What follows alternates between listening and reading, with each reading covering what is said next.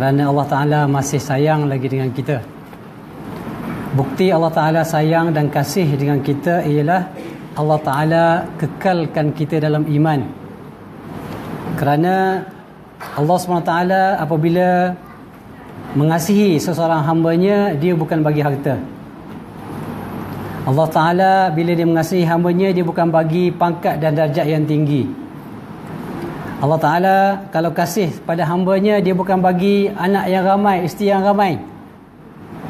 Bukan itu tanda Allah Ta'ala kasih dan sayang pada kita. Kerana apa? kerana itu semua tidak kekal. Semua itu nikmat-nikmat dunia yang akan berakhir nikmat tersebut bila seseorang itu mati dan meninggal dunia. Allah Ta'ala kasih pada hambanya apabila Allah Ta'ala memberikan hidayah dan petunjuk kepadanya dan menjadi hamba-hamba yang soleh selagi mana kita berada di dalam keadaan beriman kepada Allah Ta'ala patuh dan taat pada perintah Allah SWT maka ketahuilah bahawa kita sekarang sedang berada dalam kasih dan sayang Allah Subhanahu Wa Taala insya-Allah. Tuan-tuan rahmati Allah Subhanahu Wa Taala, Pertamanya saya ucapkan jutaan terima kasih kepada pihak surau Al-Mahabbah. Masya-Allah. Ya, masuk surau pun rasa mahabbah dia. Ya, jarang jumpa surau namanya mahabbah. Surau kasih sayang. Ya, alhamdulillah. Jadi ini pertama kali saya berada di sini. Alhamdulillah terima kasih kepada ahli jawatankuasa surau dan juga kepada sahabat saya Dr. Muallimin sepatutnya dia berada di sini sebenarnya. Ha, tapi oleh kerana dia berada dalam uh, sedikit keuzuran jadi diminta tolong saya datang saya pun tolonglah ya? Ha, sebenarnya dia lebih layak sebenarnya tuan-tuan ya. Ha, Dr. Mualimin seorang sahabat yang hebat ya. Daripada daripada Indonesia seorang masyarah yang bahasa Arabnya mantap. Kadang-kadang kadang-kadang dia boleh baiki orang Arab punya cakap. Ha, punya hebat. Dr. Mualimin ni ya. Alhamdulillah. Saya pun berguru dengan dia. Alhamdulillah seorang yang hebat. Dr. Mualimin ya. Alhamdulillah. Jadi uh, tuan-tuan oleh kerana malam ni uh, malam pertama saya datang saya buat sedikit hadiah. Bukan nak promosi eh. Bukan nak promosi. Saya ada dua buah buku ni insya-Allah saya wakafkan. Kenapa saya tidak jadi jutawan saya akan tinggalkan di sini insya-Allah sebagai wakaf ya. Yeah. Malam ni bukan nak cerita pasal jutawan tuan-tuan. Malam ni kita nak cerita pasal gerhana. Uh, jadi gerhana ni tuan-tuan alhamdulillah pada malam ini insya-Allah dengan izin Allah SWT dengan ilmu yang Allah Taala berikan kepada manusia subhanallah ya? Allah Taala izinkan dengan ilmu falak dengan ilmu astronomi boleh dengan tepat ya, menentukan berlakunya gerhana ini. Subhanallah ya. Jadi itu ilmu Allah SWT yang Allah Taala ya benarkan ia berlaku ya. Jadi ilmu Allah Taala ini mahal luas jadi Allah Taala akan dedahkan ya bukakan kepada siapa saja yang yang diizinkan. Alhamdulillah ya.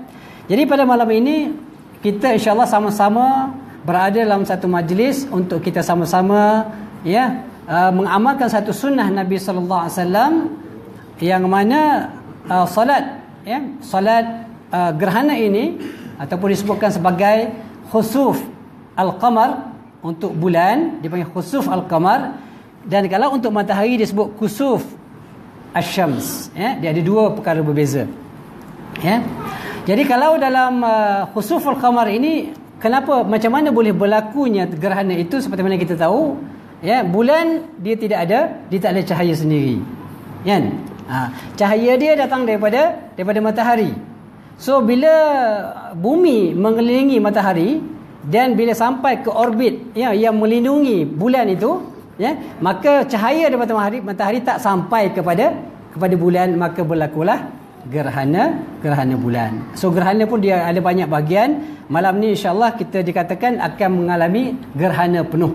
Artinya akan tertutup keseluruhan ya. Ah, bulan itu kita tak nampak cahaya langsung ya. Berdasarkan pada apa yang disebutkan.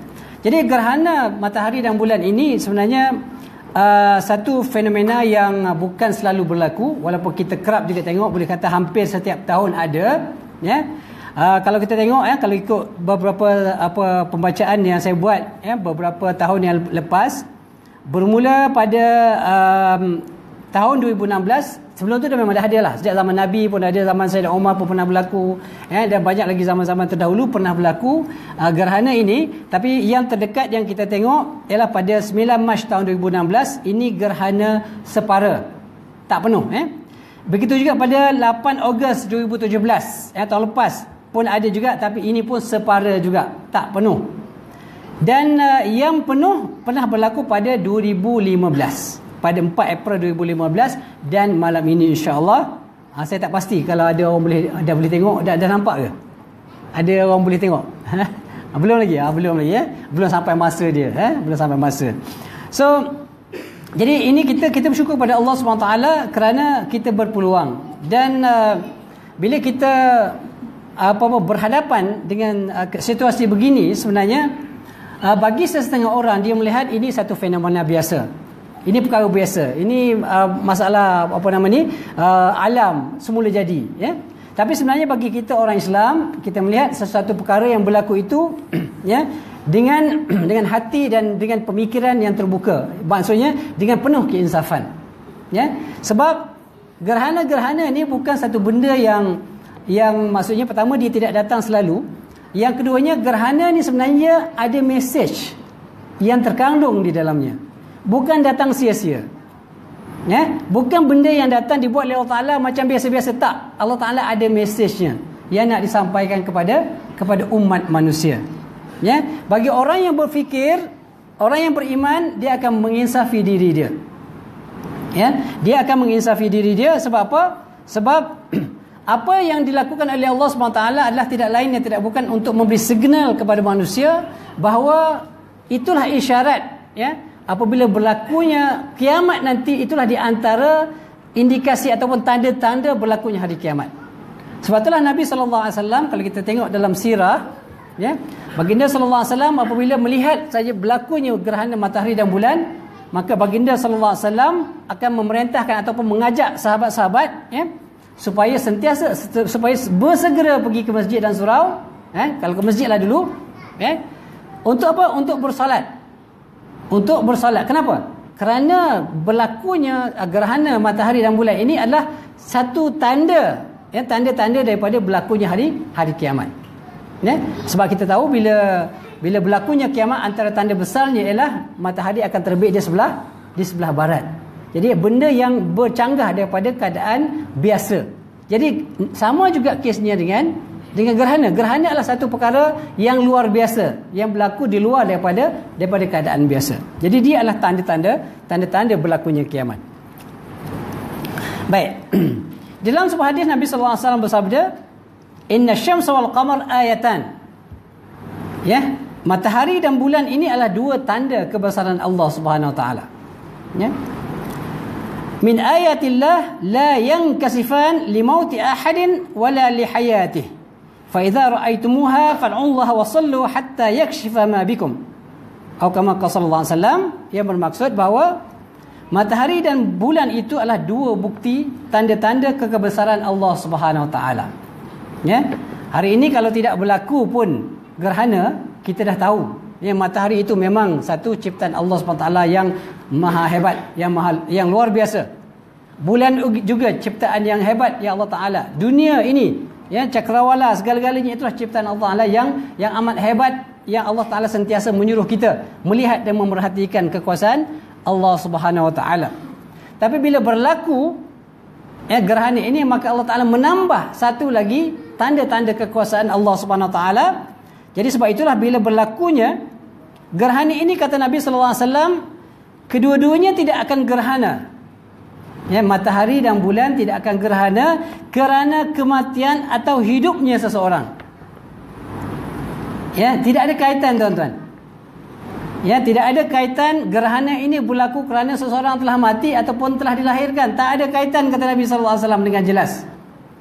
Ya maka apabila kamu melihat gerhana keduanya berdoalah kepada Allah Nabi suruh kita berdoa. Banyak solat berdoa. Bukan bersukuria berseronok-seronok. Oh tengok seronok. Tengok gerhana matahari gerhana bulan. Ramai-ramai berkumpul.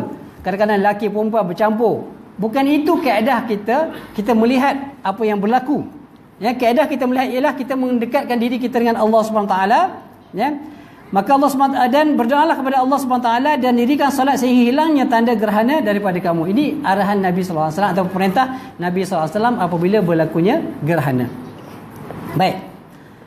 Apa cerita di sebalik kata-kata Nabi SAW ya, bahawa gerhana itu uh, uh, maka apabila kamu melihat gerhana keduanya maka berdoa kepada Allah dan Nabi SAW menyebutkan kedua-duanya tidak akan gerhana kerana kematian atau kehidupan seseorang sebenarnya ada cerita, ada rahsia di sebaliknya.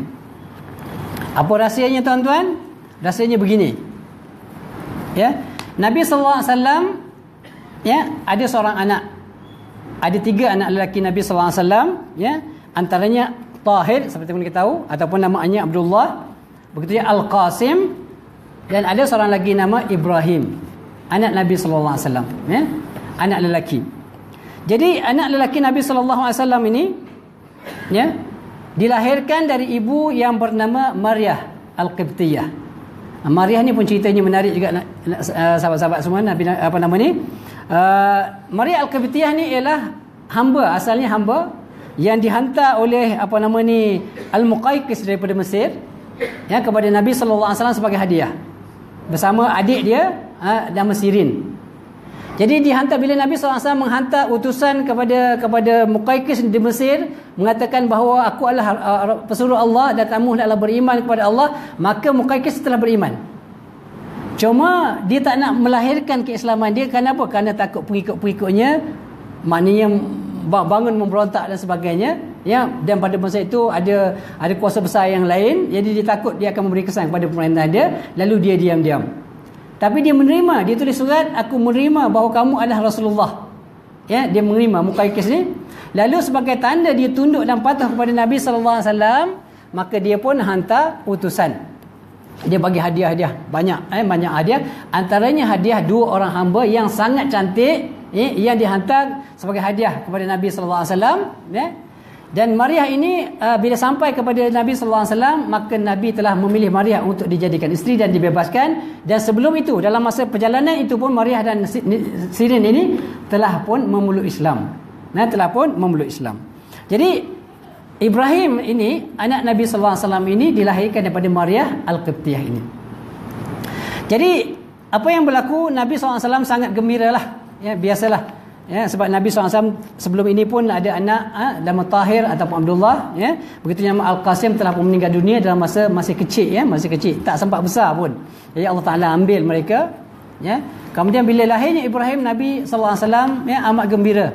Suka sangat-sangat. Ialah macam orang yang yang tak ada anak contohnya ataupun anak perempuan. Ha, saya ada uh, pak saudara saya almarhum ya. Dia ada 10 orang anak tuan-tuan. Yang pertama perempuan yang kedua perempuan. Ketiga perempuan. Tunggu juga. Punya tunggu punya tunggu. Tak datang lelaki tuan-tuan. Sampai yang ke sebelas Baru ada seorang lelaki. Allahu Akbar. Bayangkanlah tuan-tuan Berpuluh tahun tunggu Dapat seorang anak Lelaki. Memang amat gembira Ha, tapi kalau orang yang muda, Alhamdulillah. Mula-mula lelaki, lepas tu, tu dapat perempuan. Terus berhenti. Ha, cukup kata dia sepasang kan. Ha. Jadi kegembiraan pada Nabi SAW itu memang memang nampak ha, dilihat oleh, oleh para sahabat dan sebagainya. Ya, semuanya. Dan akhirnya selepas perang tabuk berlaku, ya Ibrahim ini pada ketika itu berusia dalam sekitar 16 hingga 18 bulan. Belum sampai umur 2 tahun lagi, jatuh sakit. Tuan-tuan eh? Jatuh sakit, dan Nabi pun risaulah. Ha, Nabi berusaha dan bagai-bagai ya. maknanya para sahabat pun berusaha untuk merawat Ibrahim ini. Tapi dengan izin Allah SWT ya, maknanya Allah Ta'ala uh, dengan takdir Allah SWT Ibrahim ini meninggal dunia. Dalam usia antara 16 hingga 18 bulan saja. Jadi tidak dapat dibayangkanlah eh, anak yang begitu dikasihi disayangi oleh Nabi sallallahu alaihi wasallam yang tiba-tiba di atas pangkuan baginda sallallahu alaihi wasallam Ibrahim menghembuskan nafas yang terakhir. Ya tuan-tuan anak yang kita sangat sayang yang kita tunggu lama datang kemudian Allah Taala ambil subhanallah. Sangat-sangat sedih Nabi SAW hingga kan mengalir air mata Nabi ke atas apa nama ni jenazah uh, Ibrahim. Dan begitu sahabat-sahabat semuanya menangis ya semuanya menangis ya kerana kesedihan jadi selepas saja kematian Ibrahim tiba-tiba berlaku gerhana gerhana matahari. Ha ini cerita dia eh. Bila berlaku gerhana matahari maka para sahabat dan juga zaman-zaman itu ya di kalangan apa nama ni kaum musyrikin dan sebagainya ya mengatakan oh ini sebenarnya punca kenapa berlakunya gerhana matahari sebab nak tunjukkan Allah Taala nak tunjukkan betapa sedihnya. Ya? Sehingga kan sedihnya kematian Ibrahim ini sehingga ke gerah matahari pun jadi gerhana. Ah, jadi bila benda ni berebak, cerita-cerita ni berebak, ya apa yang berlaku, maka sampailah kepada Nabi sallallahu alaihi wasallam, maka Nabi pun katalah apa sebutkan sabdakan sabda Nabi wasallam yang kita kita bacakan tadi, yang berkata apa? Inna syamsa wal qamar ayatan min ayatillah la yankasifani li mauti ahadin wala li hayatihi. Ya, matahari dan bulan itu adalah dua tanda kekuasaan Allah Taala, dia tidak akan jadi gerhana dengan sebab kematian seseorang dan juga bukan kerana lahirnya seseorang. Ha, jadi itu itu sebenarnya yang berlaku tidak ada kaitan langsung. Ya. Ha, jadi hari ini kita selalu dengar kan. Ha, kita pun selalu cari, saya pun selalu cakap. Eh. Ha, tapi bila baca hadis ni rasa macam tak betul apa yang kita buat. Ya. Kita biasa dengar orang cakap ya, bila ada seorang meninggal dunia pada masa itu hujan turun. Kan? Ha, redup je. Maka kita kata apa? Kita kata Oh, Masya Allah, hebatnya orang ini. Sebab apa? Masa dia meninggal, bumi pun sedih. Ha, maknanya bulan pun maknanya mata, mata, apa nama ni uh, langit pun sedih sehingga kan mencucuri air mata lah kononnya hujan kan. Ha, sebenarnya itu adalah tanggapan yang yang tak betul tuan-tuan tak betul berdasarkan hadis ini. Eh? Kalau anak Nabi sallallahu alaihi wasallam pun Nabi menafikan bahawa kematian anak Nabi sallallahu alaihi wasallam yang amat dikasihi oleh Nabi pun tidak ada kaitan langsung dengan apa yang berlaku di luar sana, maka samalah juga keadaannya eh apa yang berlaku kepada mana-mana manusia yang lain, ya. Kalau dia berlaku kerana Allah Taala menunjukkan kemuliaan manusia bukan dengan cara begitu.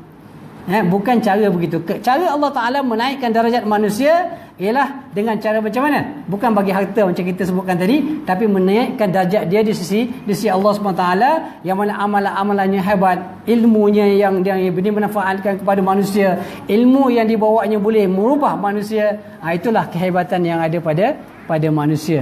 Ya?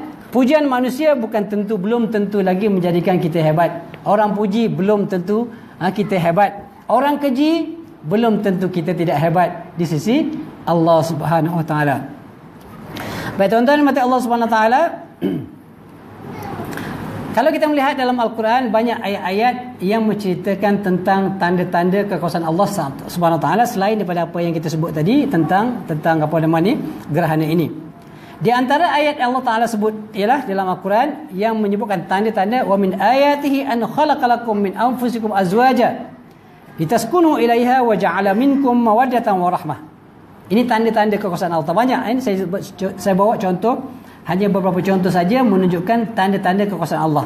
Allah Taala sebut dalam Al-Quran di antara tanda-tanda kekuasaan Allah SWT ialah Allah Taala menjadikan bagi kamu daripada diri kamu itu isteri-isteri yang mana daripada situ kamu akan dapat mawaddah, ha, kasih sayang dan sebagainya. Itu pun tanda kekuasaan Allah.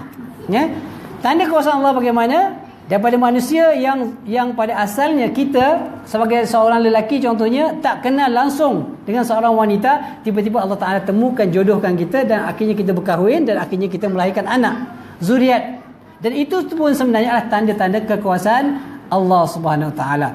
Ha, kerana semuanya itu tidak akan mungkin berlaku kecuali dengan izin Allah Subhanahu taala.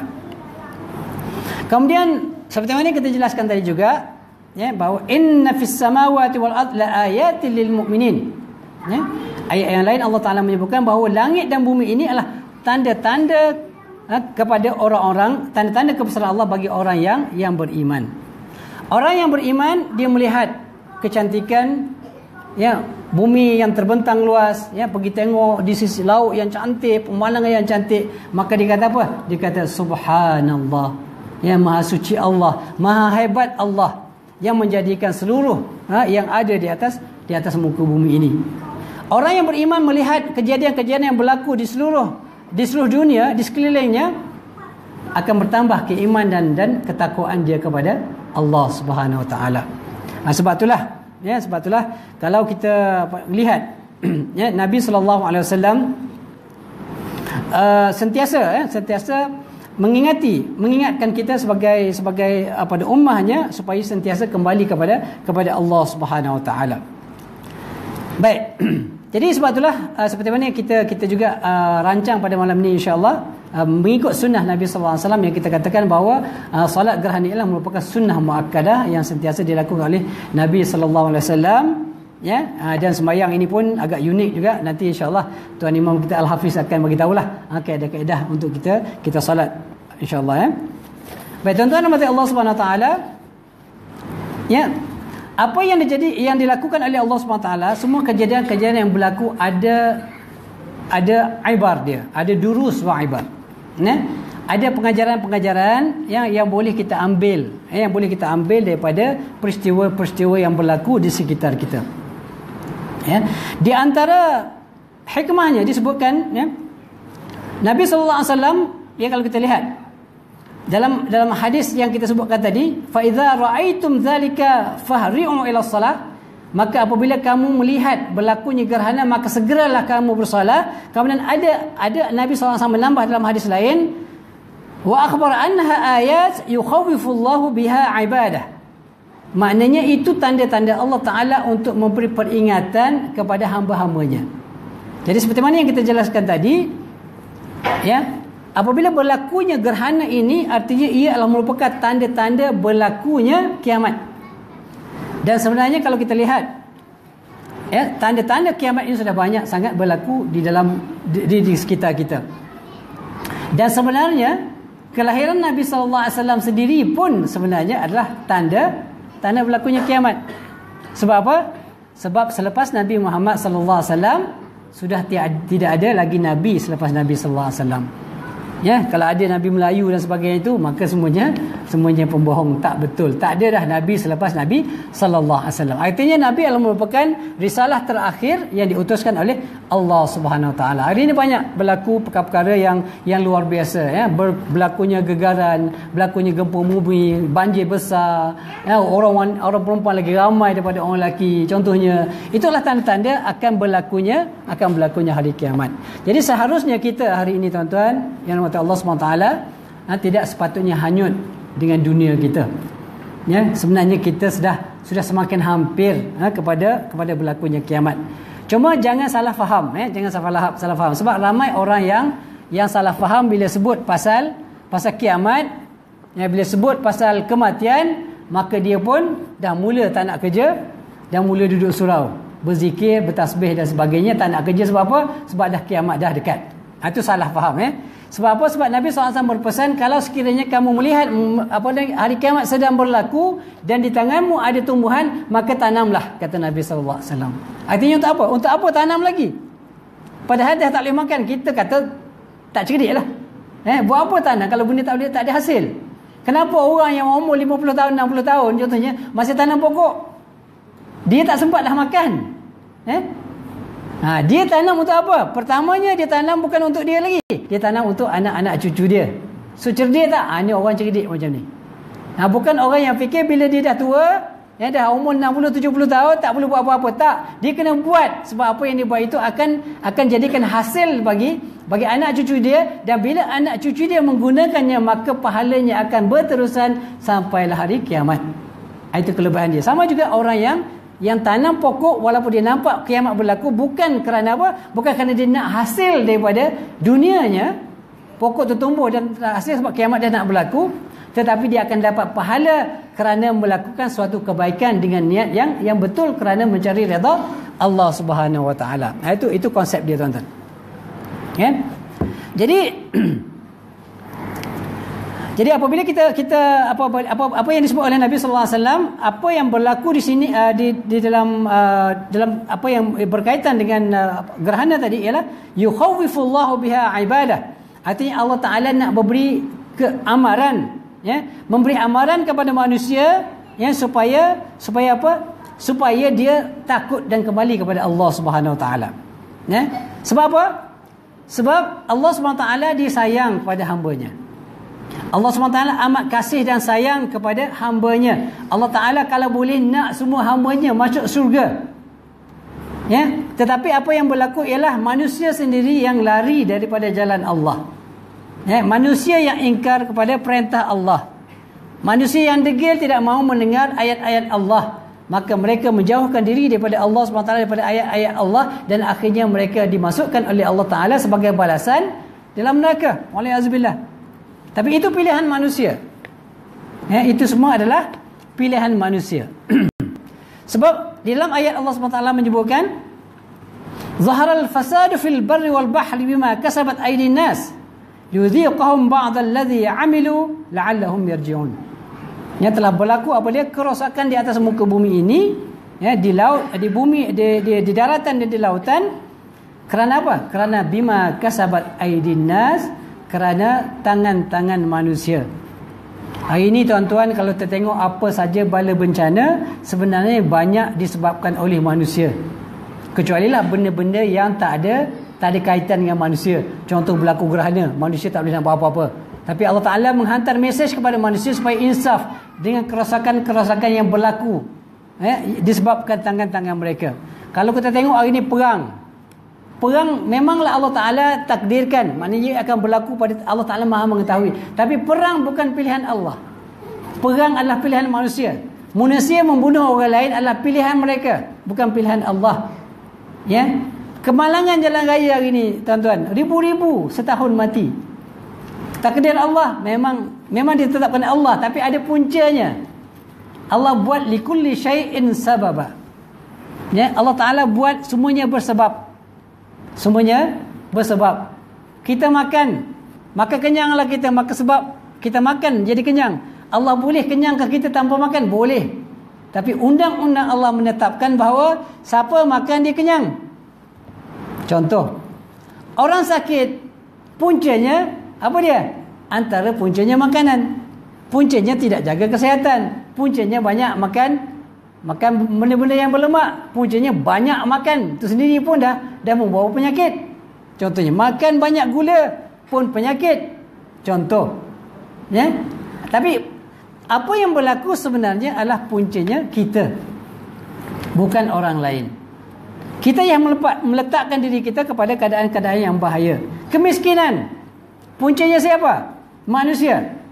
Kalau bukan kita Manusia yang lain Ya? Ha, contoh bila berlaku apa nama ni uh, George Soros contohnya.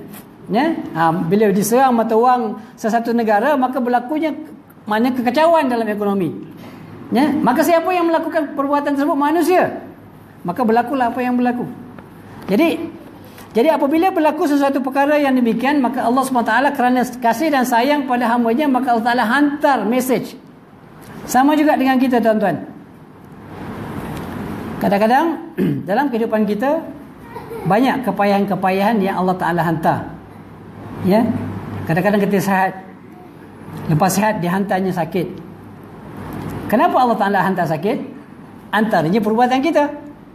Ya, makan kita tak betul, tak jaga, makan lebih dan sebagainya. Apatah lagi kadang terlibat dengan makanan yang haram pula. Ya, maka Allah hantar sakit supaya apa? Supaya memberi keinsafan kepada kita. Buatnya Allah Taala tak hantar signal langsung ramai manusia yang tiba-tiba mati. Tak sakit pun masalah tuan-tuan. Ya sakit ni sebenarnya adalah satu perkara kaedah macam mana Allah Taala memberi signal kepada kita supaya kita kembali mengingati Allah Subhanahu taala. Sakit ni kadang-kadang berlaku apabila kita kadang-kadang lupa dengan Allah.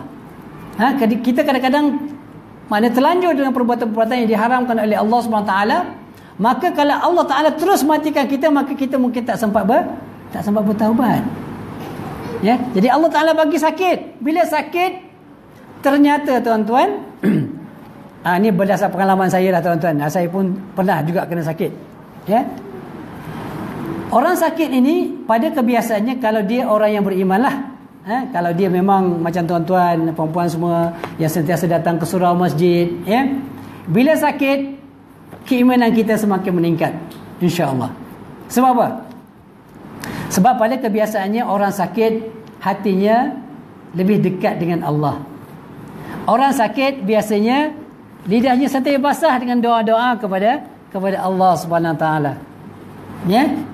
Ha, tidak macam orang yang segar. Orang sihat kadang-kadang payah nak ingat Allah. Orang sihat selalu lupa Allah. Orang yang kaya raya jarang nak ingat Allah. Orang yang ada kuasa hebat-hebat jalan nak ingat kuasa Allah. Bila dia kena sakit, terlantar di hospital, tak dapat bergerak, pada masa itulah dia mula mengingati Allah dan menginsafi dirinya. Baik sakit, baik tuan-tuan, tapi tak perlulah kita minta doa ya Allah bagi aku sakit. Eh, tak payah minta lah tuan-tuan. Ha, terima, tunggu je lah. Ada sampai masanya Allah Ta'ala bagi sakit, maka kita bersabarlah. Eh, kerana sabar itu sebenarnya baik bagi bagi setiap orang ya innama yuwaffas sabiruna ajrahum bighairi hisab ya, kesabaran itu orang yang yang sabar. Ini Allah Taala berikan ganjaran pahala yang tak tak putus sampai hari hari kiamat. Ya, tanpa tanpa tanpa dihitung tanpa boleh dihitung ya baik. Jadi Allah SWT apabila disebutkan dalam ayat yang yang tadi juga jadi kita kita bila kita cerita tentang apa nama ni gerhana ini tuan-tuan kita bukan nak cerita pasal gerhana tu ya. Tapi kita nak cerita apakah pengajaran-pengajaran yang boleh kita ambil ha, daripada uh, peristiwa yang yang hebat ini ya. Baik. Jadi ayat yang saya bacakan tadi yang telah berlakunya kefasadan ya, kerosakan di atas muka bumi ini uh, di uh, daratan dan di lautan kerana apa yang dilakukan oleh manusia. Liziqhum ba'd allazi 'amilu la'allahum yarji'un. Maka Allah Taala uh, bawa ya hantar berbagai-bagai kerosakan dan kemusnahan ha, supaya apa? Supaya la'allahum yarji'un supaya manusia itu kembali kepada Allah Subhanahu Taala jadi bila kita kita bayangkan ya kalau kita tengok ribuan mati dekat tsunami, eh, masa berlaku tsunami di Aceh dan sebagainya. Ramai orang insaf tuan-tuan. Eh, ramai orang kembali kepada Allah Subhanahu taala. Insaf dengan kebesaran Allah. Bila berlaku dulu kita dengar apa nama ni dekat Bosnia ya berlaku peperangan yang luar biasa yang hebat maka ramai orang kembali kepada kepada Islam. Ya jadi bila berlaku bencana-bencana manusia barulah kembali kepada Allah. Ya sebab itu itu nature-nya ya dalam ayat yang lain Allah taala menyebutkan wa idza masal insana dhurrun da'a rabbahu muniban ilaihi Summa idza khawala ni'matan nasa ma kana yad'u min qabl wa ja'ala lillahi andada. Manusia ni memang tabiat dia macam tu. Ya. Apabila dia ditimpa satu-satu uh, musibah da'a rabbahu dia akan mula berdoa kepada Allah Subhanahu taala. Ya. Beberapa hari lepas saya ada peluang berborak-borak dengan seorang uh, apa nama ni? Seorang apa nama ni? Uh, Chinese eh. Cina daripada daripada daripada China pelajar eh? so bila tanya-tanya borak-borak dengan dia dia kata okey dia kata dia tak tak percaya Tuhan free thinker so saya tanya kat dia ada tak masa-masa you ingat Tuhan dia kata ada masa dekat exam kata dia nah bila, bila dekat exam kenapa masa dekat exam ingat sebab dia rasa tak ada orang boleh bantu dia tapi dia tak percaya kat Tuhan nah dia tak percaya kat Tuhan So saya pun kata manusia ni memang tabiatnya macam tu. Eh, saya kata ke dia ramai orang masuk Islam kerana musibah yang ditimpa eh, oleh Allah SWT kepada dia. Ada kes eh, orang yang yang yang bukan Islam yang tidak percaya pada Tuhan, ya. Dia belayar di lautan tiba-tiba kapal karam. Ya. Bila kapal dikaram maka dia berteriak bertempit minta tolong dan sebagainya tak ada orang nak tolong terapung-apung di dalam di dalam lautan. Okey, bila diterapung-apung di dalam lautan dah minta tolong dah puas minta tolong, tak dapat tak ada orang nak selamatkan dia, maka ketika itu akan terdetik dalam hati dia bahawa dia akan minta siapa-siapa yang ada kat luar sana. Eh, siapa yang ada kuasa, dia tak percaya kata orang, dia tak tahu pun. Eh, dia tak sebut pun God dan sebagainya, tapi dia percaya bahawa di sana ada kuasa yang boleh menyelamatkan dia. Manusia secara umumnya macam tu, fitrahnya. Dia akan kembali kepada fitrah asalnya. Walaupun manusia itu cuba menafikan fitrah yang ada dalam jiwa dia tapi akhirnya bila dia terdesak ya, dia akan kembali balik kepada kepada pencipta sebab itu fitrahnya. Jadi jadi begitulah manusia ni sebenarnya tuan-tuan yang berkata Allah SWT ya, kita selalu lupa ha, jadi bila berlaku benda-benda peristiwa-peristiwa begini ianya memberi memberi isyarat kepada kita ya memberi gambaran kepada kita bahawa bahawa kita ini adalah berada di tangan Allah Subhanahu Wa taala. Kita terus harus kembali kepada kepada Allah Subhanahu Wa taala ya.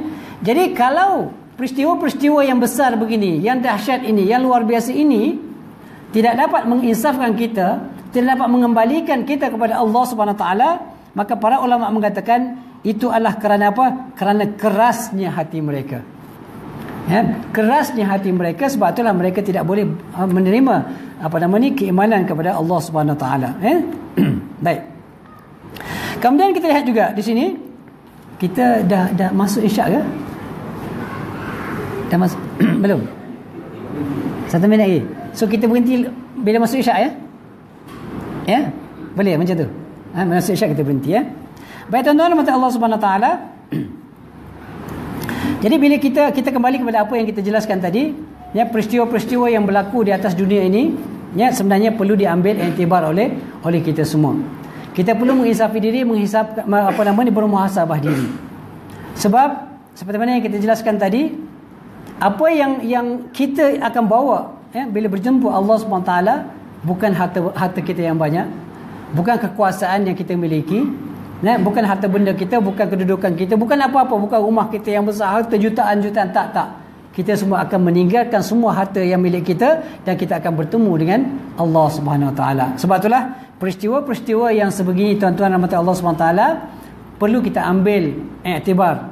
Perlu kita menginsafkan diri eh, supaya kita sentiasa berada di kalangan orang-orang yang sentiasa mengingati Allah SWT tidak cuai dan lalai dalam apa yang kita lakukan. Mungkin kita pernah berdosa tuan-tuan eh? maka di saat-saat beginilah eh, kita ingin kembali. Sebab itulah Nabi SAW ya menggalakkan apabila kita berada dalam apa nama ni situasi begini maka kita gambarkan bahawa kiamat telah hampir dengan kita. Kita perlu gambarkan bahawa kiamat dah dekat sangat dah nak berlaku.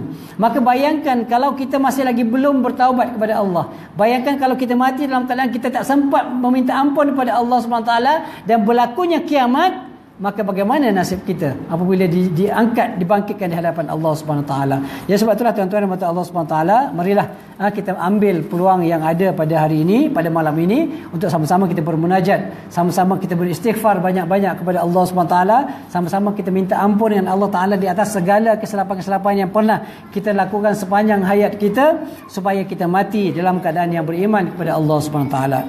Ya tuan-tuan dan Allah Subhanahu taala waktu insya pun dah masuk ya maka kita berhenti di sini untuk insyaallah beri laluan kepada apa nama ni solat apa gerhana selepas ini insyaallah.